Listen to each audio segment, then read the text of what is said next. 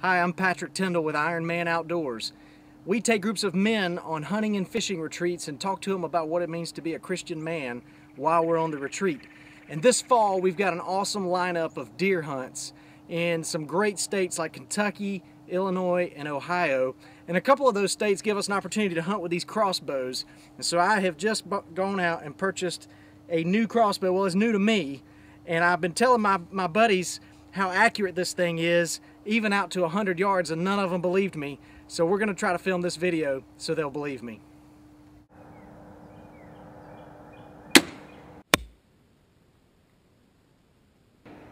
Ooh. Man, that was close.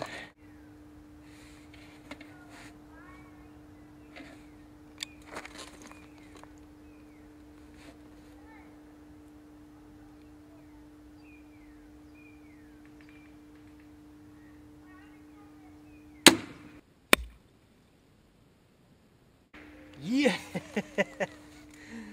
now that's fun.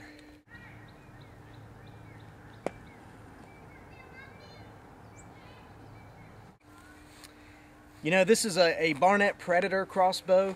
It shoots about 375 feet per second.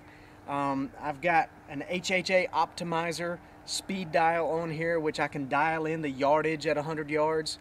And, you know, it's not the shooter that makes a 100 yard shot. I mean, anybody can get a good rest and squeeze the trigger slowly, but the aiming system, you know, the Hawke scope and the HHA optimizer speed dial, I mean, that's what makes that shot doable.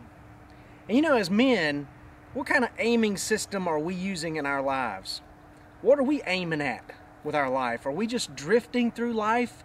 Or are we living with a purpose and being intentional towards our, our children and raising them um, the way God calls us to raise our children and leading our wife in marriage.